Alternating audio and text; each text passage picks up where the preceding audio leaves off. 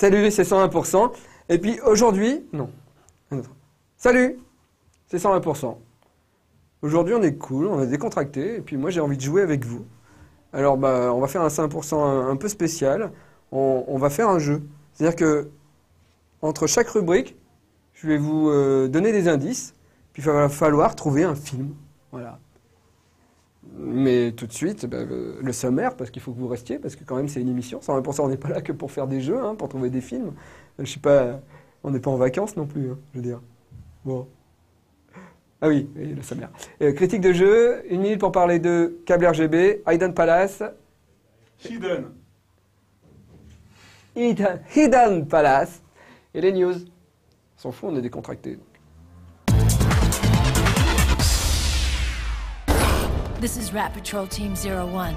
Les nombreux fans de Metal Gear Solid vont devoir patienter un peu plus longtemps que prévu avant de pouvoir acquérir le prochain épisode de la série.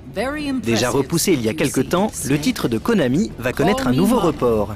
Metal Gear Solid 4, Guns of the Patriots, prévu sur PS3, sortira en effet au deuxième trimestre 2008 au lieu du premier. Liquid! It's not over.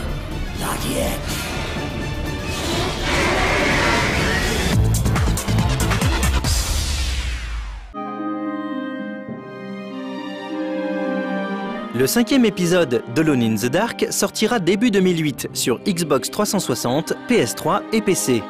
Le Survival Horror d'Atari fonctionnera selon un système d'épisodes d'une durée de 30 à 40 minutes, un peu à la manière des séries télévisées actuelles.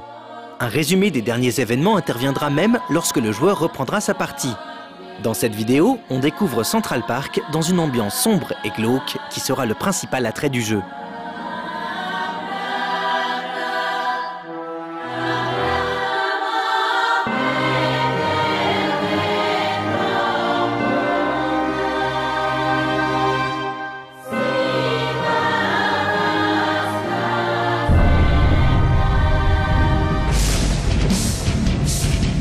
Voici une vidéo de Guitar Hero 3 Legend of Rock qui accompagne la sortie du titre aux États-Unis.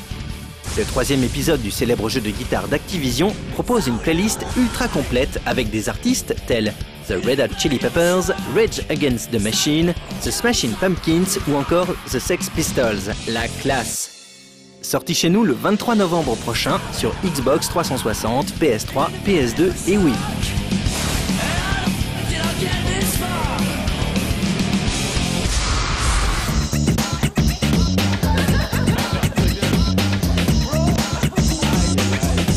Mario et Sonic aux Jeux Olympiques continuent de se dévoiler petit à petit.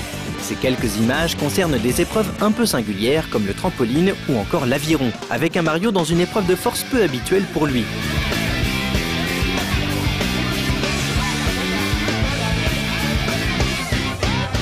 Mais on retrouvera également du tennis de table avec un gameplay proche des jeux de tennis déjà présents sur Wii. Le titre sortira sur la console de salon de Nintendo ainsi que sur DS le 22 novembre prochain au Japon.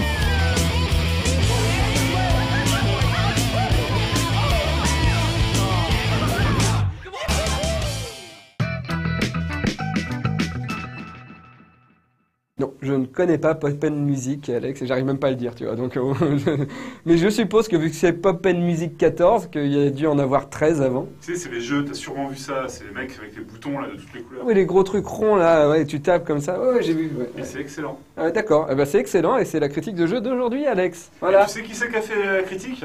Et je sais pas qui c'est qui a fait la critique. Eh ben, C'est super player de Papa Music qui est venu chez Radigo. Oui. Il va venir. et voilà, donc le super player de qui va venir chez Radigo, Alex, et ben il a fait euh, le test de Pop Music 14. Pas le test Oh putain Pardon. Oh, regarde celle-là? Ouais, mais j'ai pas mis l'indice. Ah, vas-y. Tuez tous les nouveau-nés de ce royaume pour que la prophétie ne se réalise pas C'est l'indice.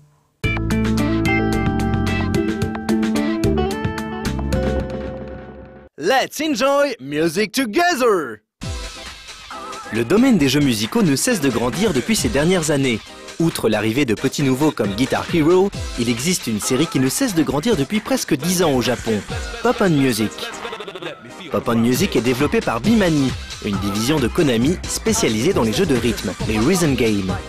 Débutée en 1998, cette série comporte une vingtaine de volets, que ce soit sur console, PS1, PS2, Dreamcast, mais aussi Game Boy Color ou en arcade. Neuf ans plus tard, Pop Music est un des titres Bimani les plus joués en arcade au Japon. Ce qu'il faut voir, c'est que sous son apparence colorée et enfantine, se cache un jeu d'une incroyable richesse et complexité.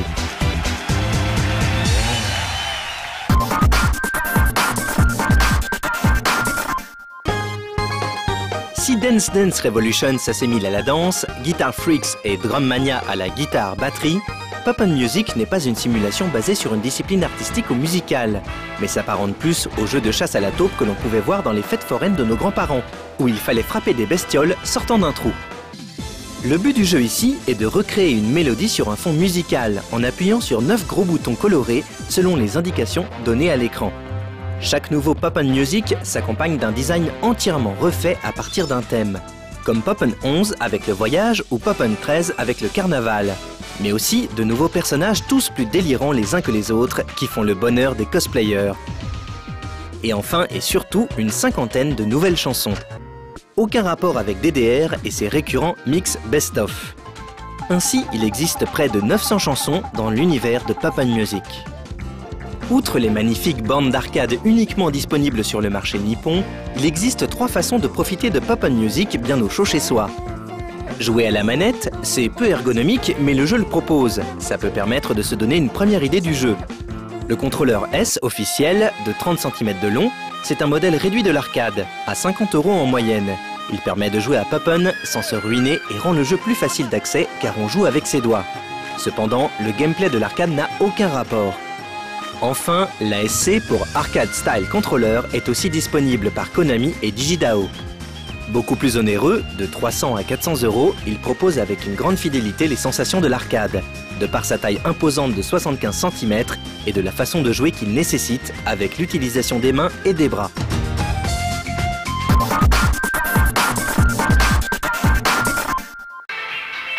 L'écran est divisé par défaut en 9 colonnes pour les 9 boutons.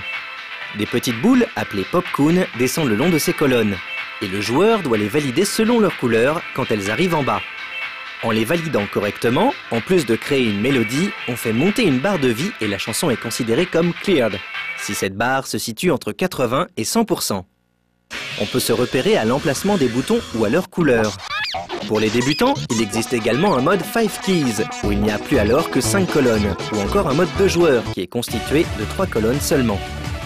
Les chansons ont chacune 3 niveaux de difficulté, normal, hyper et X pour Excite. Elles sont classées en difficulté, de 2 pour la plus facile du mode 5 touches à 43 pour les plus durs X du mode 9 touches. Si l'on n'a jamais joué à Pop Music, le niveau 20 peut être atteint rapidement en jouant occasionnellement.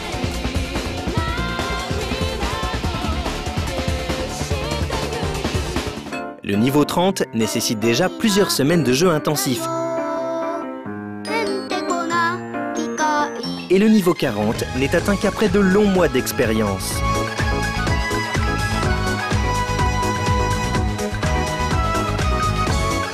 Quant au légendaire 43, il faut compter plusieurs années avant de pouvoir s'y frotter. Seule une poignée de joueurs dans le monde arrive à les passer. Le score est compté sur 100 000 points maximum, selon la précision du joueur à valider les popcoons. Concrètement, soit le popcoon est bien validé, c'est un great. Soit il est validé trop en avance ou en retard, c'est un good. Soit il n'est pas validé, c'est un bad. La tolérance du timing de validation des touches est plus large qu'un Bitmania 2DX, sauf quand on active l'option Cool, qui correspond à un timing plus exigeant, comme le Just Great de 2DX ou le Fantastic de In the Groove. Le thème de ce Pop Music 14 est Fever. Autrement dit, tout dans cette version rappelle le disco, le funky, le flashy, les boules à facettes et les pattes def. Que ce soit les menus, les nouveaux personnages, les nouvelles chansons ou les nouveaux modes de jeu, on est dans l'ambiance, on a envie de faire la fête et ça tombe bien. Pop 14 contient 44 chansons par défaut et on peut en débloquer jusqu'à 112. Imposante son liste, les chansons sont extrêmement variées. Disco, hip-hop, dance, house, J-pop, J-rock, hard rock ou encore des ovnis, à l'image de Blast, qui est un solo de 2 minutes de batterie. On peut également jouer sur des mélodies connues, comme Densha Otoko, Gradius, mais aussi sur des chansons issues d'autres Bimani, comme DDR, Drum Mania, Keyboard Mania ou 2DX. Il existe plusieurs façons de débloquer ces chansons, soit en collectant des points, soit en réalisant des défis. Quand le joueur arrive dans le mode arcade, un challenge plus ou moins dur lui est proposé, comme par exemple faire un 300 combo sur une chanson choisie au hasard. Et une animation funky dans la plus pure tradition Sentai annonce si le challenge a été correctement réalisé. De là, on débloque une chanson, quelques points pour en acheter d'autres, et on construit l'énigmatique et très puissant Fever Robot, dont l'énigme qui l'entoure n'a d'égal que son immense pouvoir. Pop Music 14 propose les mêmes modes que ses prédécesseurs, en y rajoutant des nouveautés très utiles. Par exemple, dans le mode arcade, un mode de jeu appelé Enjoy permet aux débutants de s'entraîner à 3, 5, 7 puis 9 touches. Cette manière très progressive de comprendre le fonctionnement du jeu est idéale pour les novices.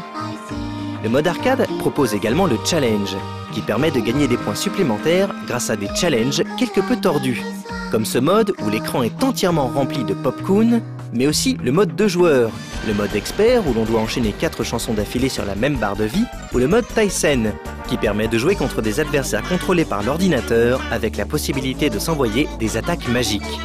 Le mode Free est constitué de toute la songlist et propose pour la première fois le mode Cool Timing et Norma en sélection, où l'on pourra s'entraîner à maîtriser ces drôles de challenges. Inévitable, le mode Training permettra de modifier la vitesse des chansons et de sélectionner des passages en particulier pour s'entraîner. Notons aussi pour la première fois un mode Record qui enregistre les statistiques complètes des parties, score, combo, nombre de great, etc., se rapprochant ainsi du scoring sérieux de 2DX. Ou encore le mode Special qui représente des mini-jeux à la WarioWare pour gagner des points supplémentaires. Le NEC Plus Ultra arrive avec le mode Tracklist où l'on peut se créer sa propre compilation pour briller en soirée. Ajoutons à cela les demi-ratios de High Speed qui pour la première fois s'inspirent de 2DX avec toutes les valeurs intermédiaires de 1 à 6 et c'est le pompon.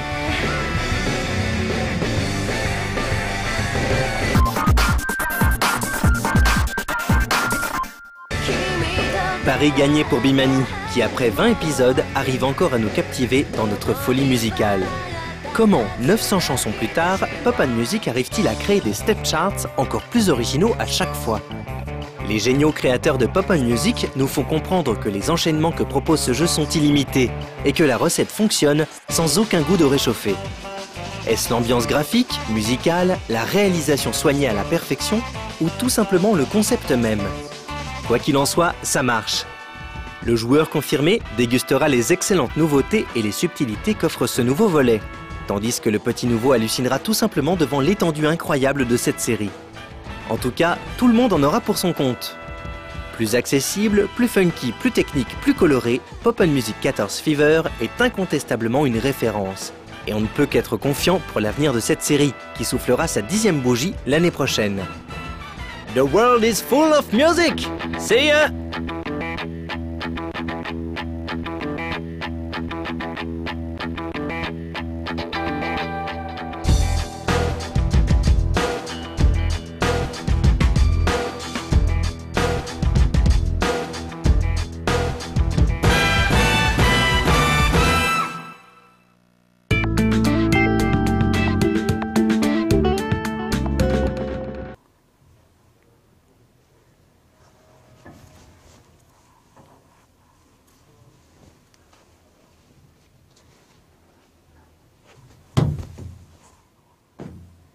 Tout de suite, une minute pour parler d'eux. C'était l'indice, ça. C'était l'indice.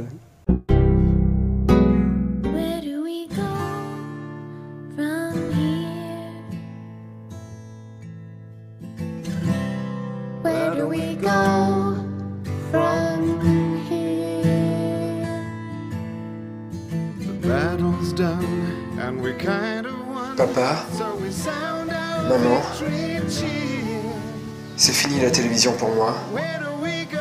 Je suis de retour. from Il est là, il, il vient, ouais, bravo, bravo, ça c'est bien, bravo.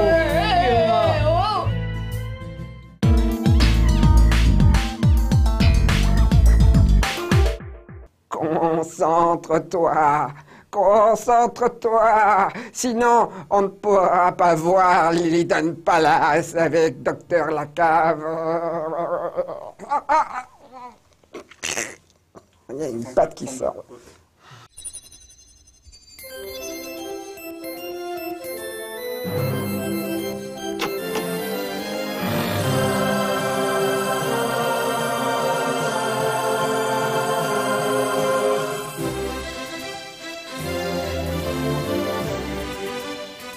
Bonjour et bienvenue dans Hidden Palace. Les animés et les jeux vidéo ont toujours fait bon ménage. Et la licence qui détient le record d'adaptation est bien entendu Dragon Ball. Du haut d'une trentaine de jeux différents, on peut dire que cette série a marqué les esprits. Et les plus otaku d'entre vous auront certainement remarqué que Dragon Ball a su influencer bon nombre de titres n'ayant aucun rapport avec cet univers. Par exemple, Kaiketsu Yanchamaru sur arcade présente un personnage qui ressemble étrangement à Sangoku. Le bâton magique est ici remplacé par un katana et le kimono passe du orange au jaune.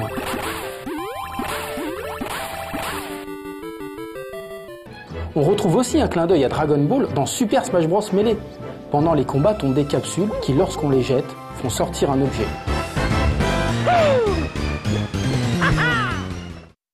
À première vue, Destrega semble être une énième adaptation de la licence, et pourtant non. On y retrouve des pouvoirs psychiques qui font tout de suite penser à des vagues Kikoha. Les aires de jeu également ont un semblant de décor tiré de Dragon Ball Z. Va au diable D'autres clins d'œil à la série existent et sont facilement plus démontrables. Dans Under the Skin, dans le dojo, il y a 3 mètres en arts martiaux. Mais celui qui nous intéresse est un homme blond avec un kimono rouge. Il porte le doux nom de Dragon Paul. Dur de ne pas voir le clin d'œil. Oui, car des fois ce sont des personnages issus d'autres jeux qui semblent sortir de Dragon Ball. Dans Fatal Fury sur Neo Geo, on peut affronter un petit vieillard redoutable sous le nom de Tung Fu Ru. Même s'il est chauve et qu'il porte une barbe blanche, on ne fait pas tout de suite le rapprochement avec Tortue Géniale. Et pourtant, c'est lors de sa mutation que leur similitude se révèle. C'est la même que celle de Tortue Géniale dans Dragon Ball.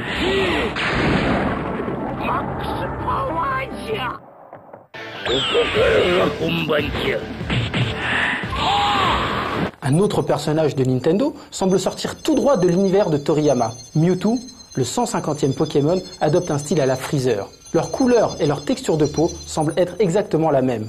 De plus, ils utilisent tous les deux des pouvoirs télékinésiques. Et enfin, ils sont tous les deux des boss incontestés dans leurs univers respectifs. Et lorsque Mewtwo lance l'attaque Psycho, il prend la même pose que Freezer lorsqu'il utilise sa Disc Ball. Mewtwo prendra aussi la pose provocante de Freezer lorsqu'il se tiendra sur un rebord. Même si tout cela ne reste que pure supposition, on est en droit de se poser des questions. Un autre phénomène souvent repris dans l'univers des jeux vidéo est la transformation en Super Saiyajin.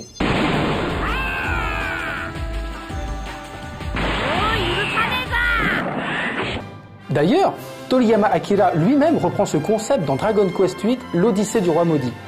Lorsque le héros atteint une tension de niveau 100, une aura apparaît autour de lui et son bandana éclate sous ses cheveux dressés qui ont changé de couleur.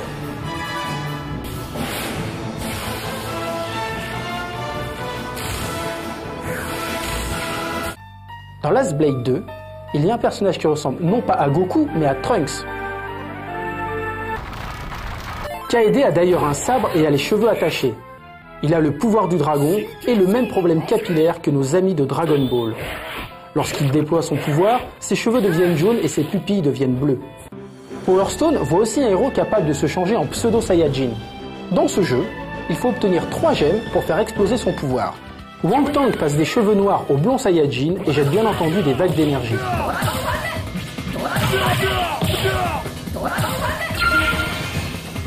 Il existe aussi un autre jeu où le héros doit obtenir des gemmes pour pouvoir se transformer en ce que l'on qualifierait de Saiyajin.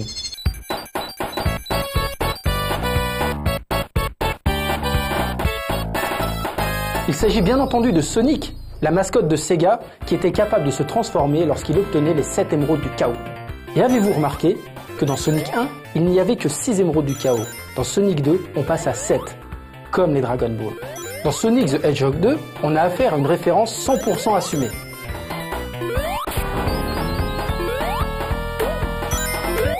De la phase de transformation au déplacement en volant à la coupe de cheveux, tout faisait penser à Goku en Super Saiyajin. Il faut se rappeler qu'à l'époque, Dragon Ball n'était pas encore le classique d'aujourd'hui. C'était un dessin animé en phase de devenir un véritable phénomène de société. Et c'est pour ça qu'à la sortie de Sonic 2, la surprise était telle que la plupart des gens ne voulaient pas y croire avant de l'avoir vu de leurs propres yeux. Rappelez-vous qu'à l'époque, Internet n'existait pas et que pour pouvoir voir Super Sonic, il fallait attraper les 7 émeraudes du chaos soi-même. Mais bien avant Sonic, il y avait une autre mascotte de Sega qui semblait tout droit sortie d'une aventure de Dragon Ball. Il s'agit d'Alex Kidd in Miracle World qui semble être une aventure de Dragon Ball déguisée. Plus que le héros glouton aux allures simiesques, c'est le cours de son aventure qui ressemble vraiment à la trame du manga original. Tout d'abord, l'aventure commence à la montagne. Leur premier ennemi commun est un ptérodactyle.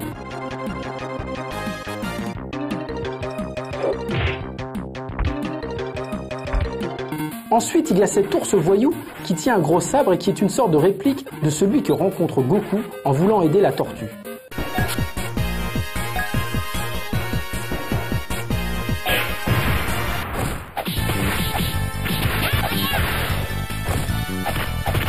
Alex Kidd rencontrera aussi un vieil érudit à la barbe blanche.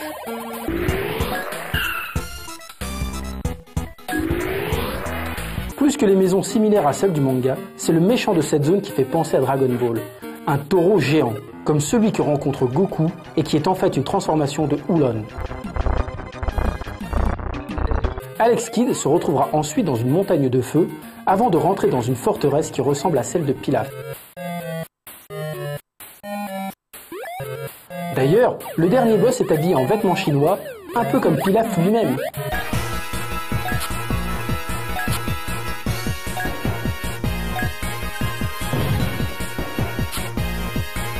Même si tout cela semble tiré par les cheveux, on ne peut constater qu'une chose, ça coïncide. De plus, Alex Kidd maîtrise les boules de feu. Mais plus fort que ça, il maîtrise la technique du Janken, technique empruntée à Sangoku dans les premiers volumes du manga. En parlant de technique, on peut légitimement se poser une question qui empêche bon nombre de gamers de dormir. Le Hadoken descend-il du Kamea Dur de rester objectif quand on parle à la fois de Street Fighter et de Dragon Ball, mais soyons synthétiques un moment. Premièrement, il est clair que Dragon Ball, qui débutait en 1984, est plus vieux que Street Fighter, qui sortit en 1987. Le kanji Ha de Hadoken et de Kamehameha sont les mêmes, et ils signifient vague. Les poses pour sortir ces deux techniques sont très similaires, et les deux sont de couleur bleu clair.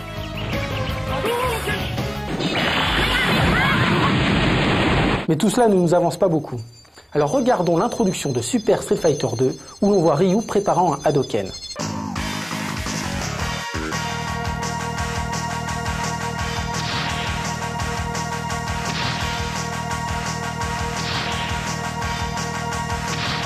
Sa pose finale ressemble à s'y méprendre à une illustration officielle de Goku déployant un Kamehameha. Dans les épisodes crossover de Street Fighter, on peut avoir des personnages boostés. Dans X-Men vs Street Fighter par exemple, lorsque l'on sort un Shinku Hadoken, il est aussi haut que le personnage et fait tout l'écran en horizontal. Un peu comme le Kamehameha x20 de Goku.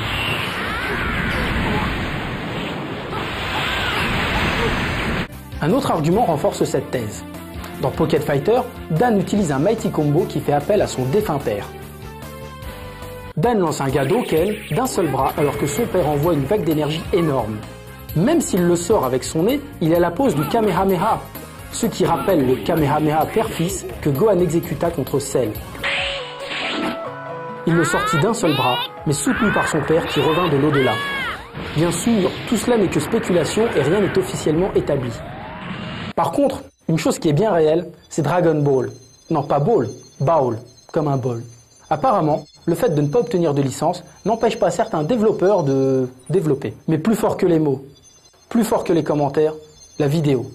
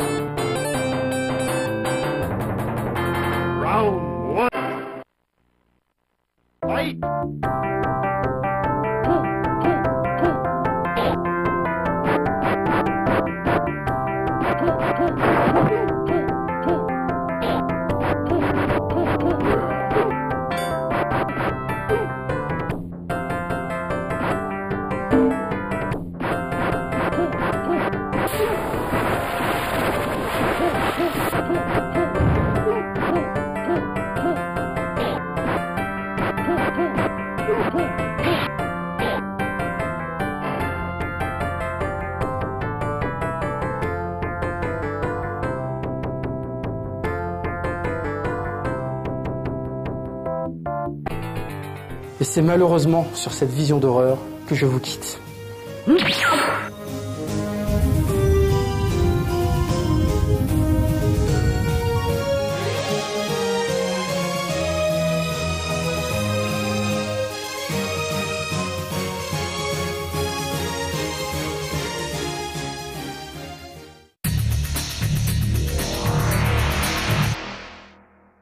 Voilà, ce 120% est terminé. J'espère que vous avez aimé, j'espère que vous avez trouvé le film. Et puis bah à demain, ça sera pas moi, mais à demain. Sur No Life. Salut Pec, pec, pec, pec, pec, pec, pec, pec, pec, pec, pec, pec, pec, pec, pec, pec, pec, pec. Ils sentent mauvais de la bouche, les daikini, quand même.